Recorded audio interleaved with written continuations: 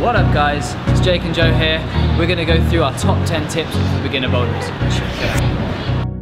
Tip number one, use your toes. One of the most common mistakes we see at the climbing wall is people not using their toes, but instead they use their midsole. This will restrict your movement. It will also give you less traction on the hold. So if Joe was to turn it to the toe, he can pivot. Ooh, look at that pivot. It will also allow you to reach further, so you can go right up onto your tiptoes. Climbing shoes are designed specifically so that you can stand on small holds like this. If you tried to stand on that hold on the midsole, you'd slip straight off. Wouldn't be possible.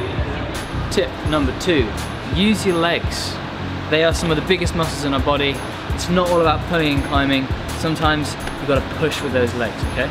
So climbing, we want to try and be as efficient as we can. Particularly on a slab wall, we're going to try and use our legs because they can really push us up this wall. So when I'm climbing here, I'm going to bring my weight over and really push up with my leg. I'm not just pulling up with my arm like this, okay? We're not dragging ourselves up the wall. It's also really important on the overhang that we use our legs to push us towards these holds. Going to use a combination of push from the legs and a bit of momentum to swing ourselves towards the next hold. Number three, climb with straight arms. And this ties in quite nicely with tip number two. Climbing with bent arms will cause you to fatigue quicker if you climb with straight arms, it allows you to relax and you can sort of hang on your skeleton. A good example of this is uh, if you go to the supermarket and you're carrying your shopping bags home, how do you carry the shopping bags? Straight arms or bent arms? That's right, straight arms, because if you, if you carry with bent arms, you're going to be so tired by the time you get home. Tip numero quattro, read your route. There's no point finding the start holds, jumping on, and just trying to work out along the way. You're going to waste energy, you're probably going to get your hands wrong, which means you're probably not going to get the top. Take some time before you start climbing, have a look where your route goes, try and work out what hand is going to go to what hold before you jump on the wall. It's going to make it a lot easier and you're to get more sense.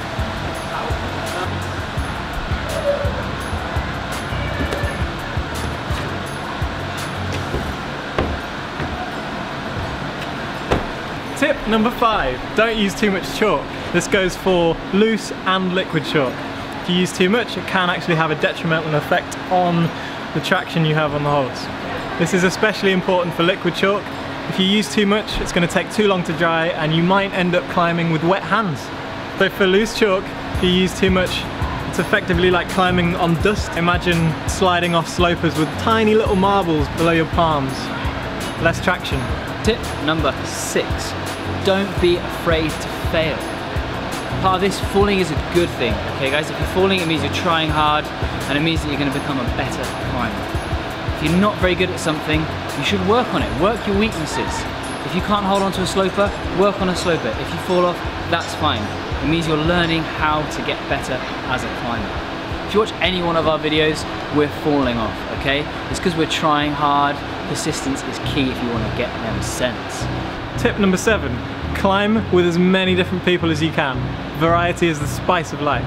Learn a lot more and you'll learn a lot faster if you climb with people that are really good at dynamic moves, really good at slab static moves, really short people, really tall people, you'll learn everything.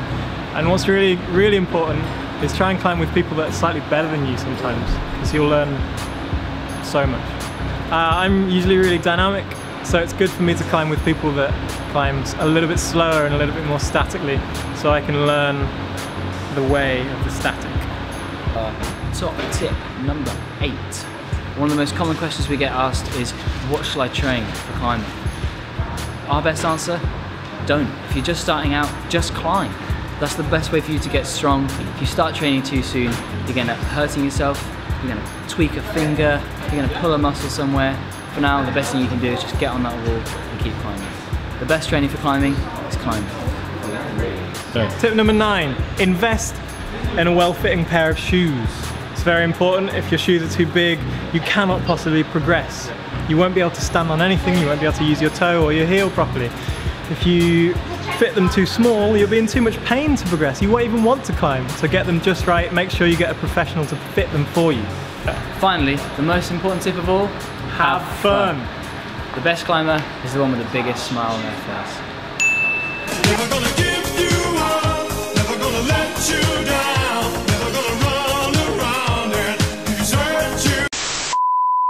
Go, we're on. Tip number nueve.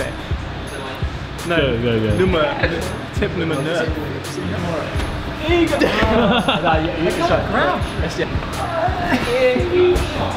That doesn't work.